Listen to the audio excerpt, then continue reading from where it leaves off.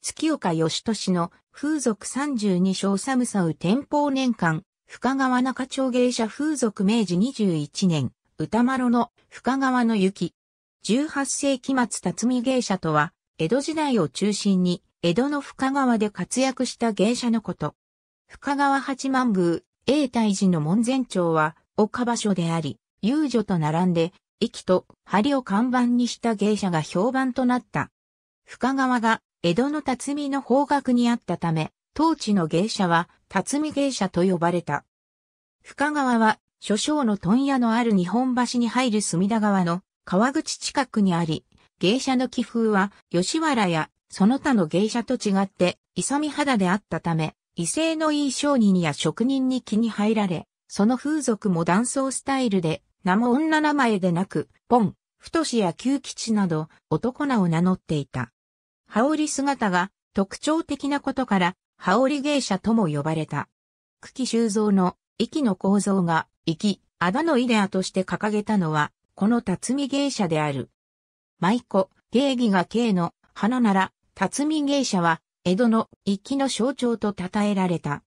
深川は、明暦頃、主に材木の流通を扱う商業港として栄え、大きな花町を有していた。商人同士の会合や接待の場に欠かせないのは芸者の存在であったために、自然発生的に他の土地から出本した芸者が深川に今日構えた。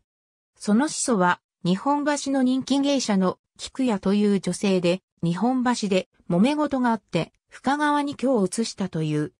しかし土地柄辰巳芸者のお得意客の多くは人情に熱い気な職人たちで彼らの好みが辰巳芸者の身なりや考え方に反映されている。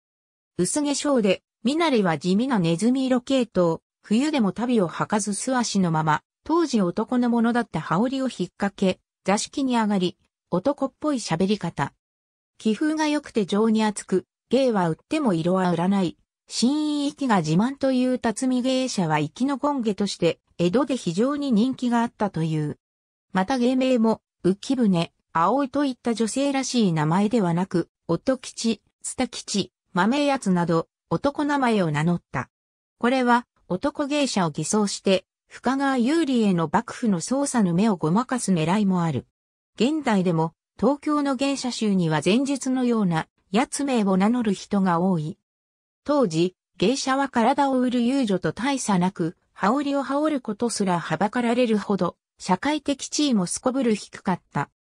そこに、芸は売っても体は売らず、羽織すら羽織ってみせる、誇り高く気風のいい、辰巳芸者たちが現れて、人気を博して、ひいては、芸者というものの社会的地位の向上に、大きな役割を果たしたということになる。現在私たちが知っている芸者というものは、この辰巳芸者に始まるということだ。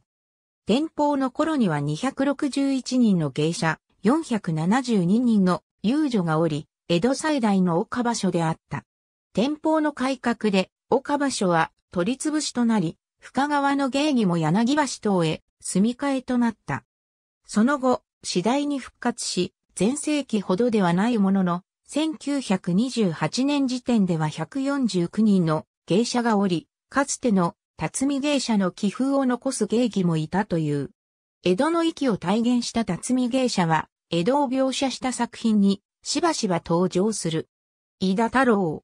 江戸の残像第2回深川。白水社。2020年4月2日閲覧。